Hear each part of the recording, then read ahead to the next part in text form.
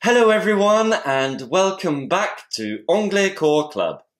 Avant de commencer cette nouvelle leçon, j'aimerais vous rappeler que notre promotion de la rentrée sur le site Anglais Core Club va finir ce soir, le mercredi 13 janvier 2021, à minuit, heure de Paris. Si vous avez décidé que vous aimeriez apprendre l'anglais cette année, ou que vous avez fait une résolution comme quoi vous allez apprendre l'anglais cette année, c'est maintenant qu'il faut venir s'inscrire sur notre site anglaicours.fr, car il vous reste jusqu'à minuit ce soir pour en profiter de la promotion. Une fois inscrit, vous aurez accès à l'intégralité de nos formations et de n'importe où dans le monde.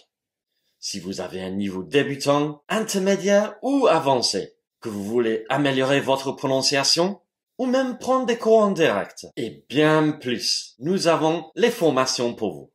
Donc venez tout de suite découvrir la grande promotion pour la rentrée. Inscrivez-vous et profitez des prix réduits. La promotion termine à minuit heure de Paris aujourd'hui, le mercredi 13 janvier 2021. Il ne vous reste que quelques heures, donc profitez-en. Maintenant, je vous laisse avec Sandra pour la leçon d'aujourd'hui. See you soon, guys! Bonjour et bienvenue sur Anglais Cours Club. Aujourd'hui, nous allons parler des confusing words.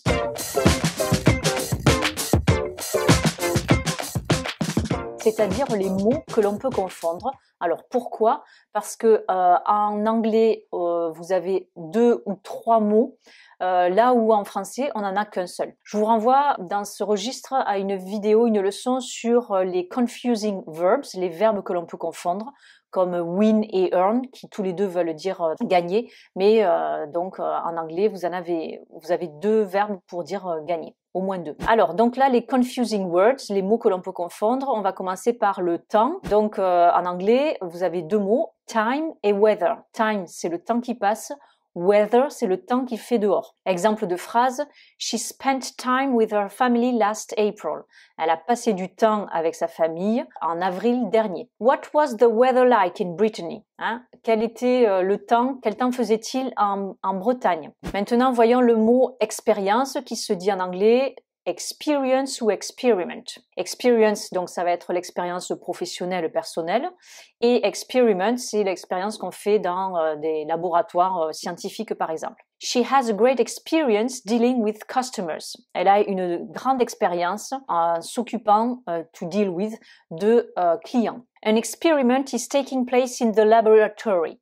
Hein, une expérience est en train de se dérouler dans le laboratoire. Maintenant, voyons le mot étranger qui se dit en anglais soit foreigner, et ça c'est un étranger qui habite dans un autre pays, soit stranger, étranger, c'est-à-dire une personne que l'on ne connaît pas. I love meeting foreigners as I can improve my English. Hein, j'adore rencontrer des étrangers ou des étrangères car étant donné que je peux améliorer, improve mon anglais. Don't talk to strangers. Hein, ne parle pas à des étrangers. Hein, on dit ça souvent aux enfants.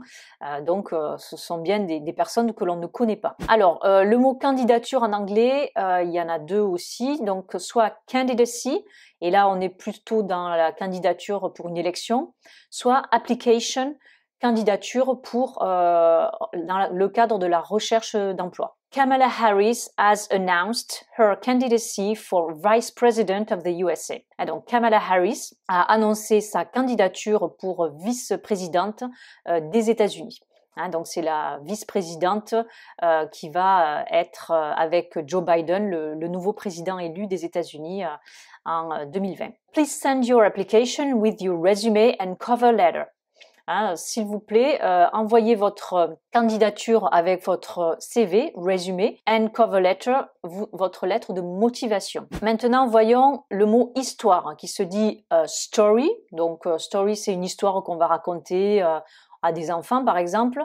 Et history, ça c'est lié à l'histoire d'un pays euh, en référence au passé. Please tell us a funny story. Euh, S'il vous plaît, euh, racontez-nous une histoire euh, rigolote, amusante. She loves watching uh, documentaries about the history of World War II. Hein, elle adore regarder des documentaires à propos de l'histoire de la Deuxième Guerre mondiale, World War II. Alors, le mot bureau, il y a trois mots en anglais, soit office, donc ça c'est le bureau où on, va travailler, hein, je vais au bureau, donc c'est aussi un synonyme d'entreprise par exemple. Desk, c'est le meuble, bureau, et study, c'est le, le, bureau euh, dans, dans une maison, donc dans un espace plutôt privé. His spouse goes to the office twice a week. Donc son épouse, spouse, va au bureau twice a week, deux fois par semaine. She's working at her desk right now. Elle est en train de travailler à son bureau en ce moment. My sister is studying in the study close to her bedroom. Hein, ma sœur est en train d'étudier dans le bureau, près de sa chambre. Close to. Voyons maintenant le mot politique, qui se dit soit politics, donc ça c'est la politique euh, politicienne, par les, menée par les femmes et les hommes politiques, ou alors policy, là c'est plutôt les, grands principes, les lignes directrices. He doesn't know much about politics in his own country. Il ne connaît pas grand-chose euh, sur la politique dans son propre pays. Hein his own country. The company policy for men is to wear a suit and a tie.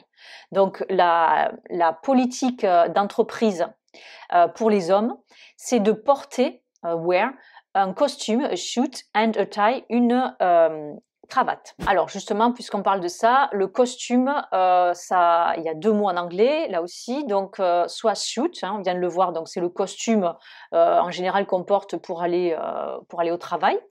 Ou alors le mot costume. Alors là, attention, costume, c'est euh, le costume euh, qu'on met quand on se déguise, pour le carnaval par exemple. He usually wears dark suit at work. Euh, généralement, habituellement, il porte un costume sombre, dark suit, au travail. I will put on my new brand costume for Halloween. Hein, je vais mettre mon euh, nouveau costume pour Halloween. Le verbe put on, c'est un phrasal verb qui veut dire donc euh, mettre. Le mot monnaie en anglais, vous avez soit currency, donc ça c'est la monnaie d'un pays, hein, euh, l'euro, la livre sterling, le dollar par exemple. Et on utilise change, est-ce que vous pouvez me rendre la monnaie lors, lors d'un achat? The currency used in the UK is the pound. Donc la monnaie utilisée au, Royaume-Uni, hein, UK, United Kingdom, c'est le pound, la livre sterling. Do you have change for a 20 euro bill, please? Est-ce que vous avez de la monnaie pour euh, un, billet? Donc, bill, c'est le billet en anglais américain, là où en anglais britannique, on dirait banknote ou note. Euh, donc, pour un billet de 20 euros. Et dernier confusing word, c'est le mot campagne. Alors, vous avez soit le mot campaign, Campaign, donc c'est par exemple une campagne publicitaire, une campagne présidentielle, et ne pas confondre avec countryside, euh, qui lui c'est la campagne environnante en opposition à la ville. On, peut dire aussi d'ailleurs euh, country, comme le pays. I enjoyed listening to the 2020 US presidential campaign on NPR News. Hein, donc j'ai apprécié d'écouter la campagne présidentielle américaine de 2020 sur NPR News. À NPR News, donc NPR News, c'est la radio américaine d'information. They often go to the countryside or to the country at weekends. Hein ils vont ou elles vont souvent à la campagne euh, les week-ends. Voilà, j'espère que euh, cette leçon vous aura aidé à y voir un peu plus clair dans les confusing words, hein, les mots que l'on peut confondre. Et euh, n'hésitez pas aussi à vous référer à la leçon et la vidéo sur les confusing verbs, les verbes que l'on peut confondre. Just a quick reminder, un petit rappel. N'oubliez pas que la promotion de la rentrée sur Anglais Core Club prendra fin ce soir, le mercredi 13 janvier 2021 à minuit, heure de Paris. Il ne vous reste que quelques heures pour en profiter des prix réduits. Donc c'est maintenant qu'il faut venir vous inscrire pour apprendre l'anglais avec nous. See you soon. Take care. Bye bye. Sur ce, je vous souhaite une très bonne journée et à très bientôt pour de nouvelles aventures en anglais. See you pretty soon for new adventures in English. Bye bye.